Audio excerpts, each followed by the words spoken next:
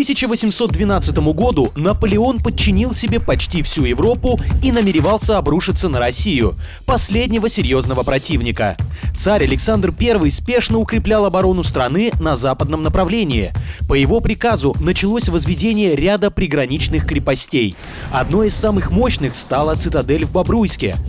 Ее причислили к первому классу оборонительных сооружений. Летом 1812 года Великая армия Наполеона, собранная со всей Европы, вторглась в пределы России. Польские части Бонапарта во главе с генералом Домбровским блокировали цитадель, но взять укрепления так и не смогли.